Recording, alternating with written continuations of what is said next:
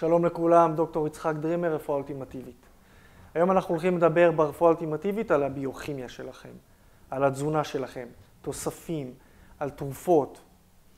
כשאתם מגיעים לרופא, לרופאה, למטפל, למטפלת עם חולי כלשהו, כאב כלשהו, פחד כלשהו, דיכאון כלשהו, חולי בכלל, או כאבים. כמה התזונה שלכם קשורה לתחלואים שלכם? אז באחוז מאוד מאוד גדול.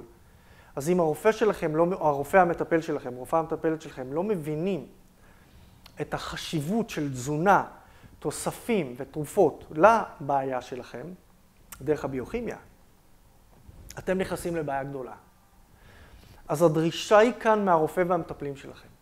הם חייבים להבין ביוכימיה באופן מדויק מאוד, ולעשות אנליזה על כל מה שאתם אוכלים ושותים ומתי ובאיזה כמויות, בכדי לראות כמה זה אחראי על החולי שלכם, על הכאב שלכם ועל ההתנהגות שלכם. זאת אומרת, דיכאון, פחד, חרדה והלאה.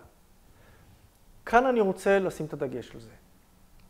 כשאתם הולכים לרופאים שלכם, למטפלים שלכם, צריכה להיות בכם דרישה להבנה שלהם מזה.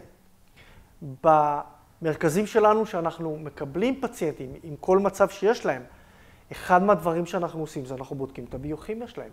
אנחנו בודקים אם הביוכימיה שלהם, התזונה שלהם, השתייה שלהם, הוויטמינים, מינרלים והתרופות שלהם מתאימים למצב שהם באים איתו, ואז אנחנו עושים להם סדר אם צריך.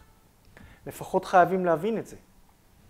מגיעים אליי אנשים שמגיעים עם תחלואים מאוד מאוד קשים, או תחלואים קלים, ואז אני רואה עם איזה מזונות שחררו אותם מהבתי חולים, או מטפלים בהם בכדי לפתור את הבעיות שלהם, ואני נחרד, כי זה לא מתאים למצב שלהם, זה אפילו עלול להעצים אותו, ולכן הרופא והמטפל שלכם חייב להבין את זה.